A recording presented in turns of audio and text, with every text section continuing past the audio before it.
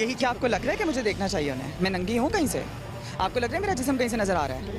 फिर मैं कहूँगी मेरा जिसम मेरी मर्ज़ी तो आप लोग इस तरह तिल मिलाने लग जाएँगे। मेरा जिसम मेरी मर्ज़ी की समझ नहीं आई आज तक। सोसाइटी को समझ नहीं आई। सोसाइटी समझना चाह नहीं ना। आप समझा देना ये आपको मौका है आपके पास। आप सोसाइटी कैमरा चल रहा है आप नहीं इनको समझाने दें। नहीं नहीं एक सेकंड एक सेकंड आप मुझे समझा दें सिर्फ़। चोरी छुपे आता बच्ची को बुलाता उससे तू डराता गला भी दबाता ननी सी जान को यूँ मसलता जाता किसी को भी देखे नाड़ा तेरा खुल जाता। समझ नहीं आता तुझे क्या हो जाता फिर कहता जाता इज़्ज़त है तो इज़्ज़त मेरी कैसी इज़्ज़त किसकी इज़्ज़त कौन सी इज़्ज़त कितनी इज़्ज़त यही इज़्ज़त है तो फिर इज़्ज़त की तेरी ऐसी की तैसी।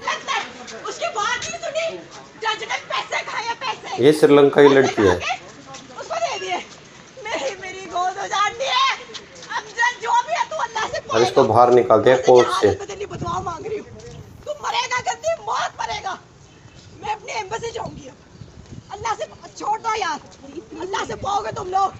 मेरी उधार नहीं है ना। अल्लाह से पाओगे। कभी राह चलते हुए किसी ने आपको किसी मायूब जगह पे हाथ लगाया?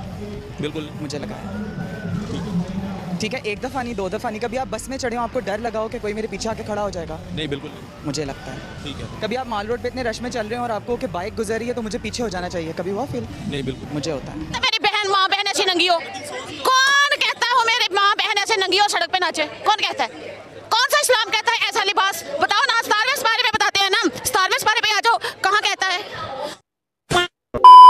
जय दोस्तों, जय श्री तो भाई, शुक्र मनाओ कि आप लोगों का जन्म हिंदुस्तान में हुआ है। देखिए, इस्लाम के नाम पर पाकिस्तान बनाओ वहाँ इस्लाम के नाम पे पाकिस्तान में महिलाओं की, इस्लामिक महिलाओं की भी क्या स्थिति है, वो आप लोगों ने देख ही लिया होगा। ओ भाई, श्रीलंका से महिला आई थी, उसके साथ, यानी कि भाई, जाहिलों ने क्या कर दिया है, भाई, वो रो रही है, चिल्ला रही है, और कानून तो है ही नहीं कुछ भी व्यवस्था आप लोग वीडियो देखिए लाइक ज़रूर करें भाई वीडियो को, और अपने दोस्तों पर ज़रूर रखें, वीडियो शुरू करते हैं लगता है उसकी बात नहीं सुनी जज ने पैसे खाए पैसे पैसे खा के उसको दे दिए मेरी मेरी गोद उजाड़नी है अब जज जो भी है तू अल्लाह से पाएगा रोज़े की हालत में तेरी बदुआ मांग रही हूँ। तू मरेगा गंदी मौत मरेगा। मैं अपनी एम्बेसी जाऊँगी अब। ये है भाई नया पाकिस्तान। यार। अल्लाह से पाओगे तुम लोग? मेरी उधार नहीं है ना? अल्लाह से पाओगे। अमजद शफीक जो भी है ना तू अल्लाह से पाएगा गलत फैसला किया मेरे बच्चे ले लिए पाँच छह साल के बच्चे हैं दोनों। वो कहते हैं मम्मा वॉशरूम में बंद कर देते हैं मुझे डर लगता है। वो बोल नहीं सकते उसने नहीं सुनी। उसने अपनी सुना दी। उसने उसने सिर्फ़ अपनी सुनी। अल्लाह से पाओगे अल्लाह से पाओगे मेरा है, दो मासूम बच्चे एक पाँच साल का एक छः साल का। जो कि उसका बाप ले गया। अब मैंने इधर कोर्ट में अप्लाई किया सारा कुछ किया। बच्चे मुझे देखे। मैंने पूछा चलो बच्चों से कहते मम्मा वो लोग वॉशरूम में बंद कर देते हैं मुझे डर लगता है मैं कहा आप उनकी तरफ़ नहीं जाओगे? कहते वो फिर ले जाएँगे। डर से उन्होंने कहा बाबा सिर्फ़ खाए। जज कहते छोड़ ठीक जाओ। बाबा के पास जाओ। पैसे खाए हुए जज ने असल बात तो ये है। ये अमजद शफीक जो भी है कौन है? अमजद रफीक अल्लाह से पाएगा। माँ की गोद उड़ानी है ना तेरा कुछ भी नहीं रहना। केस क्या था सुना जब बच्चे आए हैं ना मैं उनको मिली हूँ उन्होंने कहा कि just give like five to ten minutes मैं उधर खड़ी हूँ मुझे कितने बच्चे हैं? मेरे दो बच्चे हैं एक पाँच साल का और एक छह साल का आपकी शादी कब हुई? मेरी शादी 2016 में हुई थी और मेरी ना क्या नाम है उनका? अली हसन। और उन्होंने मेरे साथ फ्रॉड किया था जब मेरे कहा था अपना-? मैं श्रीलंका की हूँ। वो कहाँ वो पाकिस्तान का है। ही जस्ट कैम्प्ड उन्होंने even you know he said that he is living in his own house ये जानना चाह रहा हूँ कि आपकी शादी कैसे हुई? थोड़ा सा पापा मेरे फादर पाकिस्तानी है मेरी मम्मा श्रीलंकन है। और मेरे पापा ने जब मेरी शादी करवाई है वी गोट टू नो कि उनके पास एक सेवेंटी भी नहीं है अपनी।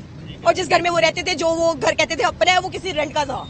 फ्रॉड होने काम के क्या बाद करते थे उन्होंने उनका काम मैं बताती हूँ। तेरह करोड़ रुपए का भी फ्रॉड किया रिसेंटली पठानों के साथ। उसका बाप मलिक इमरान हसन जो कहता है ex adviser of Pervez Elahi. तो 2016 में शादी हुई अब 2024 है। झगड़ा किस बात पर हुआ? मैं मुझे मेरे जो देवर है उसने मुझे वाइपरों के साथ मारा था जिससे मेरे थर्ड बेटे की डेथ हो गई थी। उसके बाद मैं वापस नहीं गई। पाकिस्तानी है? पाकिस्तानी है वो। अच्छा तो और बच्चे फिर किसके पास थे? दूसरे बच्चे? मेरे पास मेरे बच्चे रहते थे। जब मुझे डिवोर्स हो गया उससे दूसरी शादी कर ली उसकी अपनी एक बेटी है। डिवोर्स कब हुई? इन 2021 तो आज जब अदालत में केस की समाप्त हुई तो बच्चों की कस्टडी की उन्होंने केस किया या आपने मैंने किया? था बिकॉज़ मेरे बच्चे स्नैच हुए हुए थे।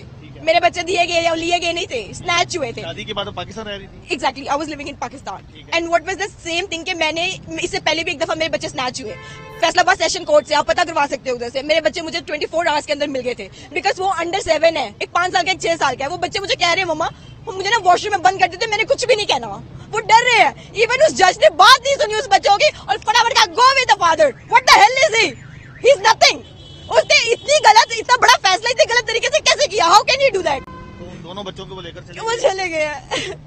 It is wrong to my kids सबसे मैंने कहा वो सुनने वाले में से नहीं है। He didn't listen a single word of mind he just said done उसने एक लफ्ज नहीं सुना।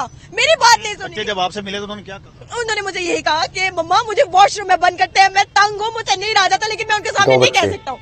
मैं कहूँ बहुत ज़्यादा वो रो रहा था। You can as all over there वो सारे कोई कोई कोई पुलिस सारा कोई आ रहा है। आप क्यों रो रहे हो?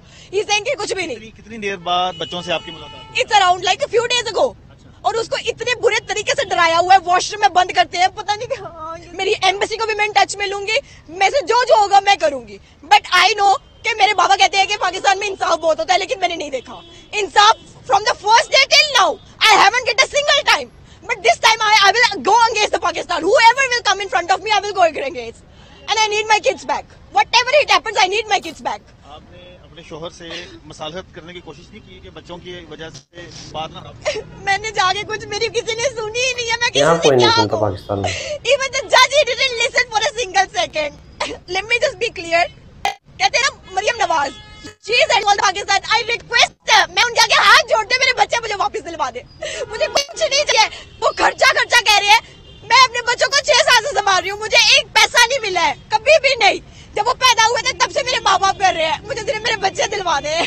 तो दोस्तों, आप लोगों ने देखा, यानी कि वही पाकिस्तान। पाकिस्तान कहें तो गलत नहीं होगा। देखिए, जो भाई हम पहली बात तो कोई कहेगा कि भाई ये वीडियो दिखाई, हमें क्या इस चीज़ से लेना देना या हमें क्या फ़ायदा?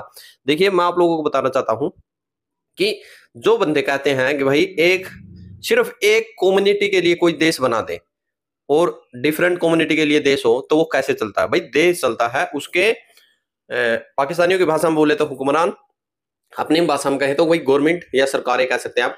सरकार कैसे चलाती नियम कानून कैसे होते हैं? भारत सरकार की बात करेंगे।